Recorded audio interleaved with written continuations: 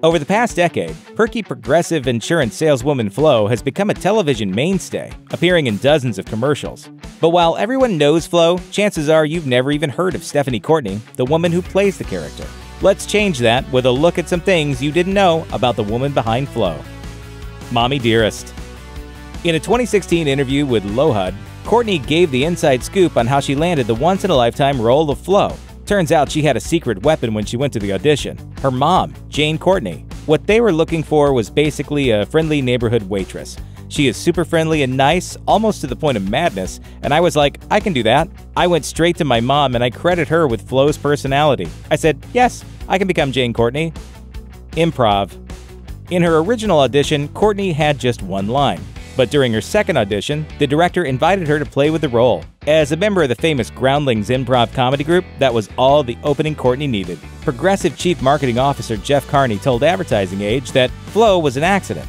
The character was just supposed to be a friendly cashier in the superstore, but Courtney brought the character to life when she ad libbed the line, Wow, I say it louder. Wow. Wow, I know. I say it louder. Have a great day.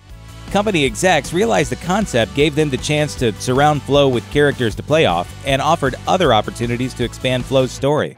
Since that fateful audition, Courtney has continued to be an integral voice on how the character of Progressive Flo has progressed. And all thanks to one little wow. It just shows what can happen if you say the right word. Slovakia. Triceratops. Tapioca. Racquetball. Staccato. Me llamo Jaime. Pumpernickel. Pudding. She helps write the commercials.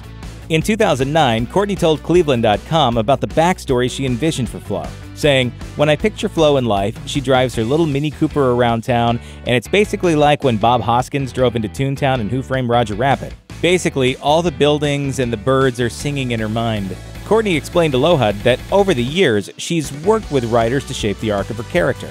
The writers are very open to what I think. There may be some improv here now and then, that is encouraged, by the way. All of us were working so hard to find out who this person was and what the boundaries were.